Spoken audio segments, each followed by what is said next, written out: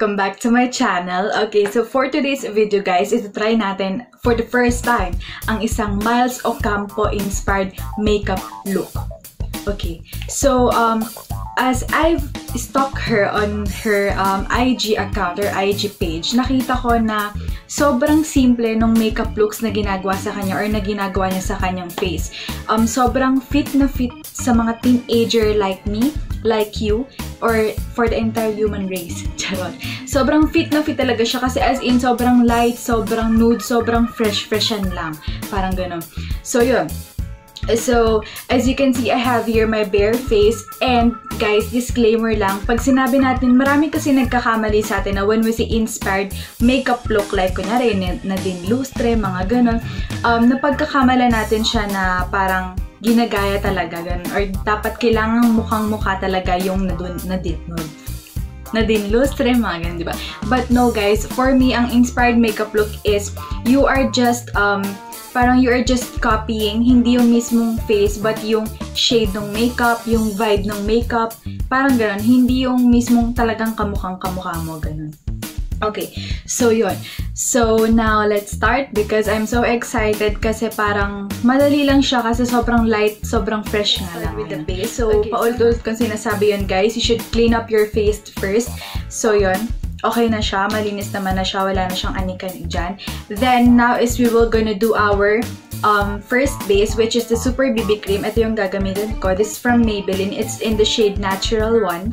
Okay, so yun kasing um, ginaga, parang yung mga nakita ko sa makeup ni Miles is hindi siya ganun ka-foundation-like or although nagpa-foundation but hindi ganun kahalata. Kunin ko lang yung beauty blender. So, although ganon, nagpa-foundation siya, syempre, ba? Pero hindi ganon kahalata. Then, I'll have here a little. Then, pat lang natin sa skin. So, yung gamit ko guys is damp sponge. So, if you are following her on her social media accounts, talagang makikita nyo na as in talaga, sobrang pang fresh-freshan lang ma'am siya yung mga look na ginagawa sa kanya. So, sobrang perfect. Parang hindi naman all, almost perfect, pero sobrang pang teenager yung face ng texture ng face niya.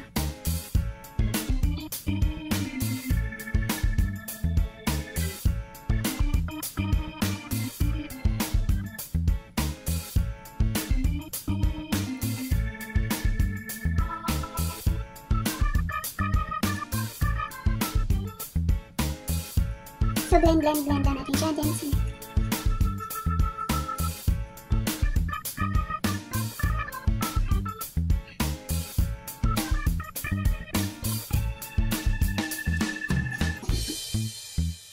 Yan. So, after natin i-blend, hayaan na muna natin siyang mag-set para mas kumapit yung Super BB Cream. So, before we go on through our concealer, maglagay muna tayo first ng ating kilay. So, it's up to you kung anong kahit anong gusto nyong gamitin pang kilay. Um, but for this inspired makeup look is nakita ko kasi na medyo bushy yung kilay ni Miles. Hindi siya ganun ka, what do you call this? Hindi siya ganun ka shape, medyo bushy siya, bushy siya. Yung mga uso ngayon na bushy type ng brows. So, medyo sisame natin siya. So, just um, ayos-ayos na kilay, right there. And then,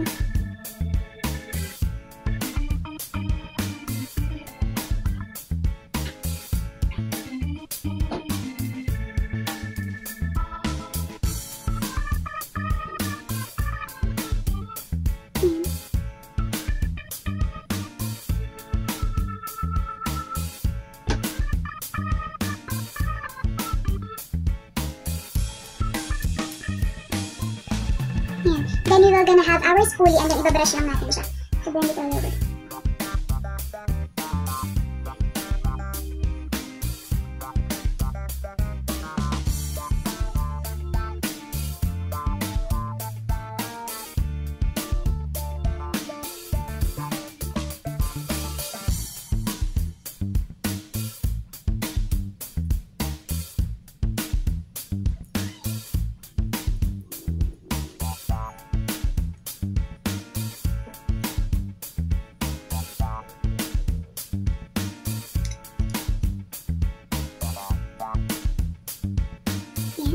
Okay, then next one is we will gonna do or we will gonna set our brow with the tinted brow gel from Nichido. So it's up to you if gusto niyo pa mag-brow gel. But for me, yes, kasi sobrang gulo ng hair ng eyebrows ko.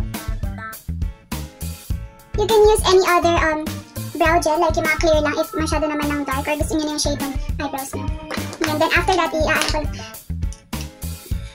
i-brush ko lang siya ulit with a spoon.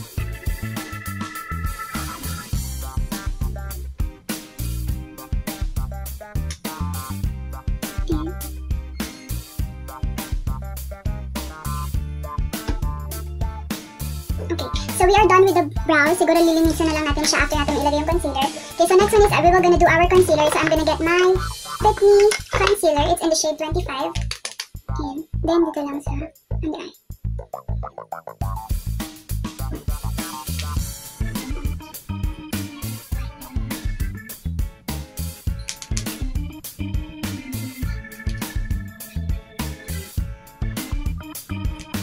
Then we were gonna blend it with a sponge.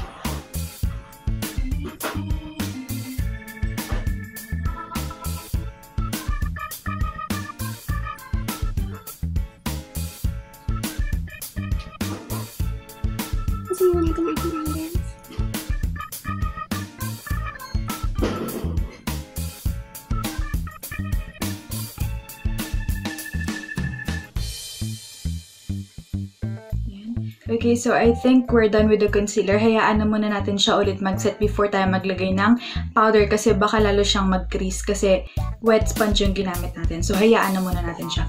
Okay, so for the next one that I will gonna be doing is I will just gonna curl my lashes and then I will just gonna have parang sa face, pinaprime ko yung lashes ko with the new Natasha Clear Mascara. This one. Ayan, so sa Natasha ko siya nakuha. Then, I'm just gonna curl my lashes first.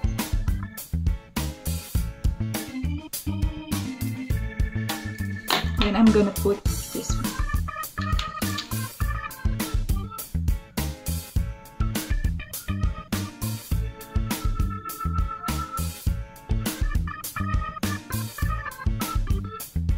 Ito guys, nito ko lang siya na-discover. So, this could be a clear brow gel or a set or a primer for your eye, eyelashes. Kasi napansin ko, pag ginagamit ko siya before ako mag-mascara, mas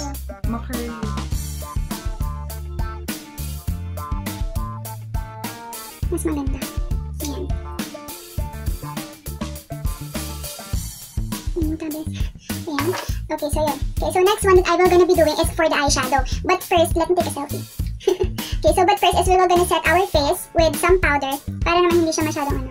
Pat, pat, pat mo lang muna, then mamaya natin siya i-blend. So you can use any powder that, that you want or kung anong powder man ang meron kayo. So, pat,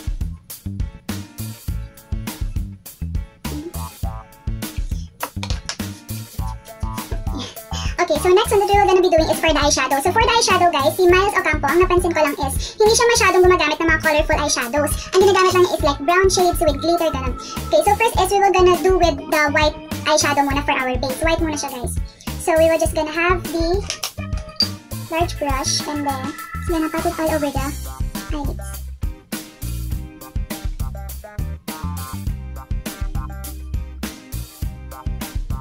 Kumbaga guys, this will be the base para.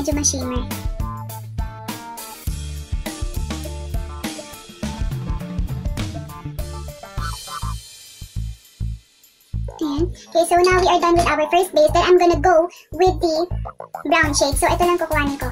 This one muna. Itong medyo darker. This one. Yung walang glitter. Go ah, far. So I'm just gonna have my brush and then, oh, gosh, wait. Part of the excess. And then, dito lang sa ating crease.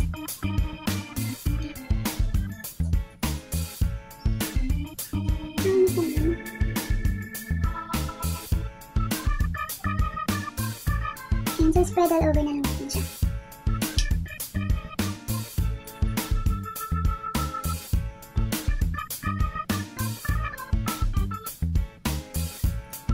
So, parang okay. So, parang, parang wala. Okay, so sige. Kuhanin na lang natin yung ating detail contour and blush palette. Then, I'm gonna go with the bronzer one. So, para kasi,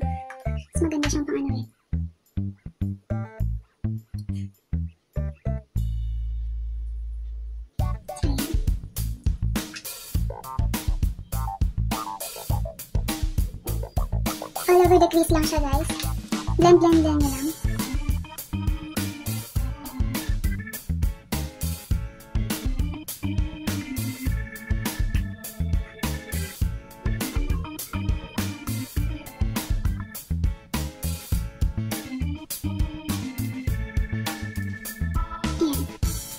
So that is the transition color that we have right now. Okay, so for the next one that we will gonna do is we will gonna get a shimmer brown, yung mga may glitter guys, alam nyo na yan. Were gonna have a shimmer brown.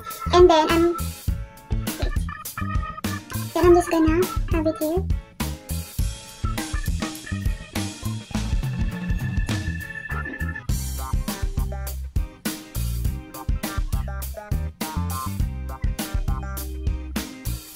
Yung medyo may shimmer guys. Ayan.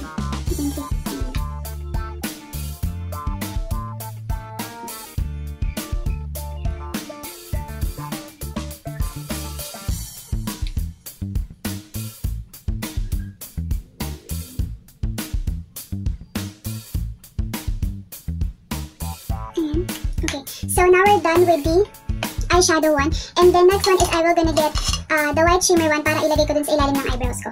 So yung medyo may white shimmer, dito lang sa ilalim ng ating eyebrows.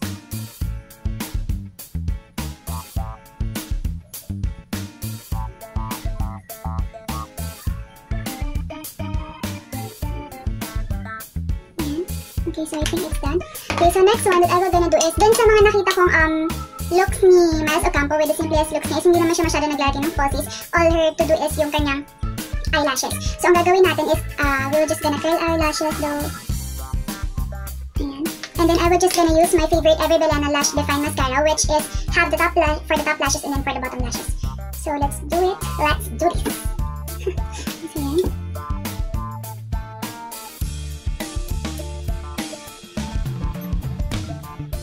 Oh, before I forgot guys, mag-pipeline muna pala tayo. Para mukhang maraming, um, tawag dito, para mukhang maraming lashes yung ating mata. So, I'm just gonna pipeline this. So, um, So, ang pipeline guys is ginagawa siya to make your lashes more, more, um, parang mas marami ganun. Ganun, sa may ilalim ng taluka.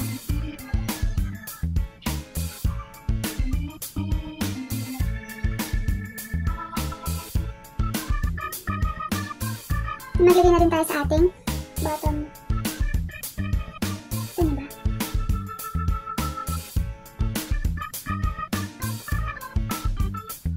Babae pag nagmamas... Sorry.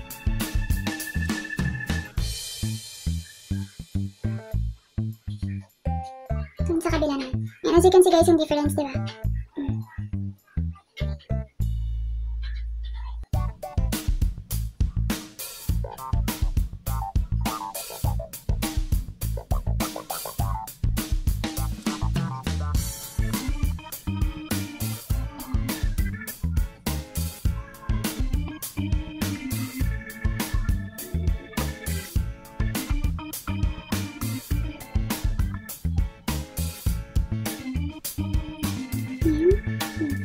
So now we are done.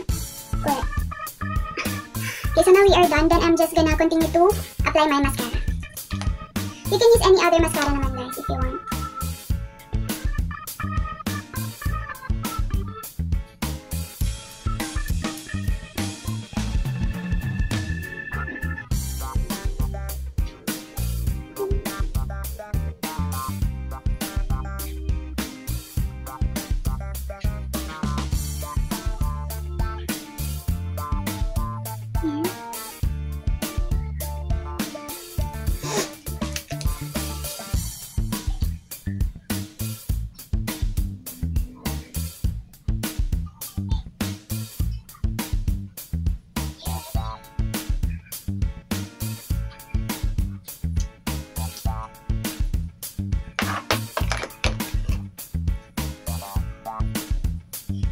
I think we're done with the simple eye makeup that we have here.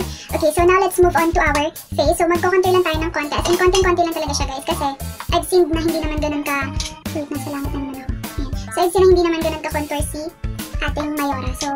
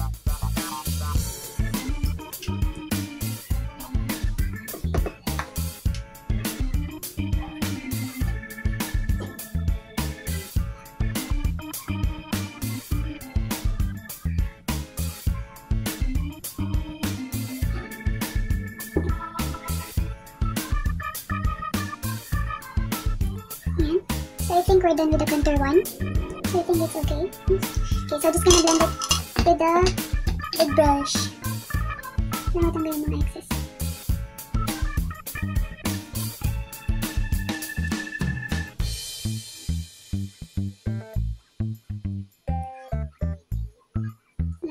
Okay, so I think we're done.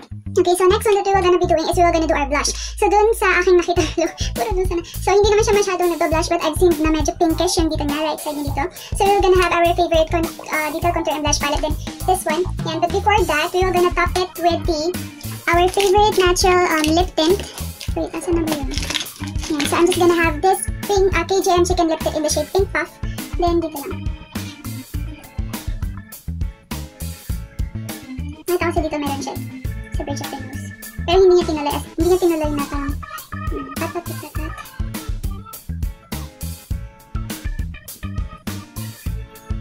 Nasa langit na naman ako.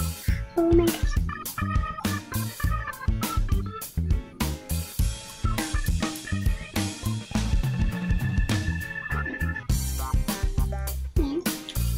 Okay, so the next one that we were gonna be doing is we were gonna top off the blush with this uh, Detail Contour and Blush palette. Then kukuha lang tayo ng And then this one here, right here. The excess, then tap tap tap tap tap.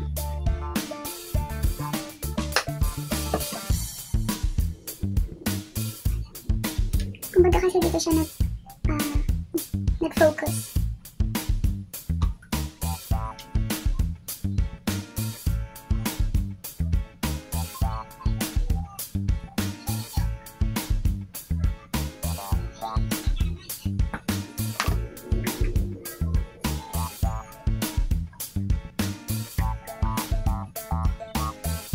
Okay, so I think we're done with the blush. Okay, so for the next one is we were gonna do our lips. Okay, so for the lips, hindi naman siya masyado nagda-dark ng shade, but I've seen some pinkish shade, so I'm gonna go for this one. Uh, so for this one, matte, and then I'm gonna top it with uh, some gloss. Uh, this is in the shade, no, this is red. Wait.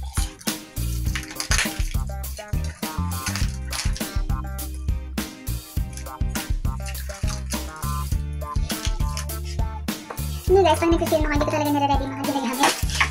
Basta kuha na lang ng 200. Okay, so I'm gonna go na lang with this one. So this is the Maybelline, um, ano tawag dito? Maybelline, basta PKO1. Ito yung kanilang bago dati, which have three shades here. Actually, nasira na siya. Ayan, as you can see. Ayan. So meron siyang three shades. Para siyang lip tint dati. Yung bago nilang labas. Ayan. So I'm just gonna go for this one. Then,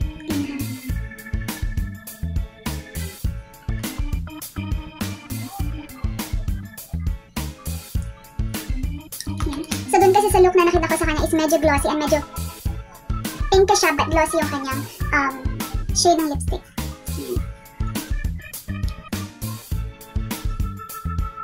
And the next one that we were gonna be doing for the last one is the highlight. So I'm just gonna have the Maybelline Master Strobing Stick.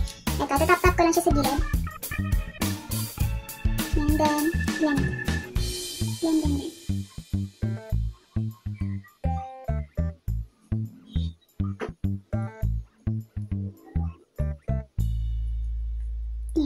Okay, so next one is we were gonna do the powder one, which is this one. Ito, ayan. And then just gonna have the highlight brush and then the highlight. Cheese.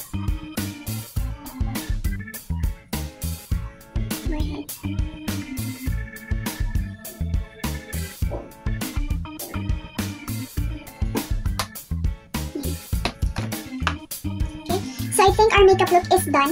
Okay, so I'm just gonna fix my hair and then I will be just back. Okay, so that is it guys for this Miles Ocampo inspired makeup look for today.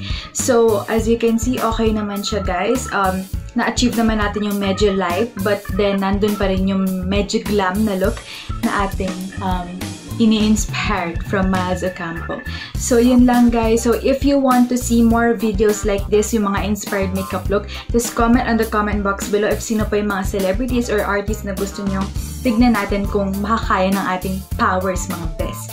Okay, so, yun lang guys. Um, sorry if I have uh, or I've been delayed for weeks na mag-film or mag- mag-upload ng videos because because um, bukod sa pagiging busy, I've been experiencing a severe headache lately. Siguro sa stressed or whatever, hindi ko alam. But then, uh, I will try my best to keep on uploading and filming videos for you guys.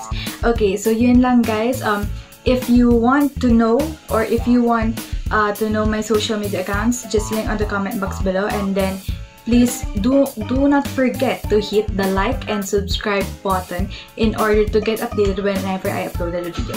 I hope you guys enjoy this as I've enjoyed filming this video. So yun lang guys. Mm, bye!